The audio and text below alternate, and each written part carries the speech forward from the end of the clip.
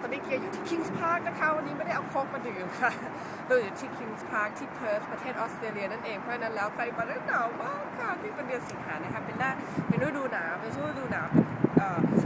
ของออสเตรเลียอยู่เพราะนั้นแล้วถ้าใครอยากจะมาหนาวๆก็มาได้นะคะนี่เราจะไปซิดนีย์ไปเพิร์ธไปบริสเบนไป Gold Coast ไป Byron Bay แต่เราไม่ได้ไปนิวซีแลนด์ค่ะเพราะนั้นแล้วเกียร์พาเที่ยวที่